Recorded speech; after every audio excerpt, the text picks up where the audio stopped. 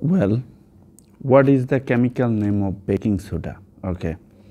The name of the chemical name of baking soda is sodium hydrogen carbonate. Look this is sodium and this is hydrogen carbonate.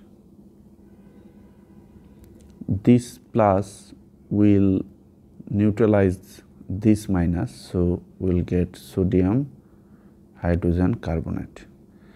This is IUPAC name. Sodium hydrogen carbonate this is IUPAC name right? The IUPAC name of baking soda is sodium hydrogen carbonate. But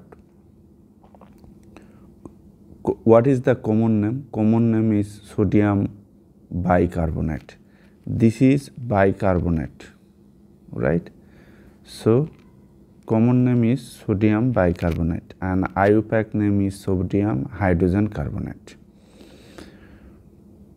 Okay, let me explain more thing. This is carbonate polyatomic ion and if you add one hydrogen here then you will get HCO3 1 minus 1 plus will vanish 1 minus so you will have 1 minus so bicarbonate polyatomic ion and this is sodium ion. This plus will vanish this minus so we'll get this sodium bicarbonate or sodium hydrogen carbonate. So thank you for viewing this video be well.